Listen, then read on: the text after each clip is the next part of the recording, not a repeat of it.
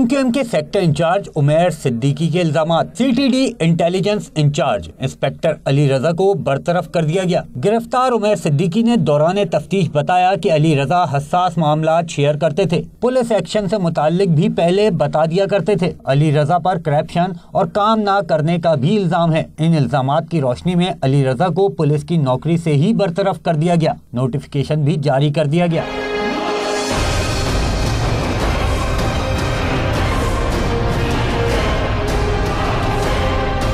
अली रजा ने 92 न्यूज़ से टेलीफोनिक गुफ्तगु करते हुए इल्ज़ाम को रद्द किया। कहा कि इंतहा पसंदी के खिलाफ अहम किरदार अदा करता रहा हूँ। हसास इदारों ने जान को खतरे के 16 खतूत जारी किए। अली रजा ने दावा किया कि जेआईटी में इमरान ने उन्हें बेगुनाह करार दिया, लेकिन फिर भी उन्हें मुलाजमत से निकाल दिया गया। बरतरफ अफसर का कहना था कि पुलिस के लिए ज़िंदगी वफ कर दी। बरतरफी के खिलाफ अपील नहीं करूँगा। मोहम्मद अशद 92 न्यूज़, कराची।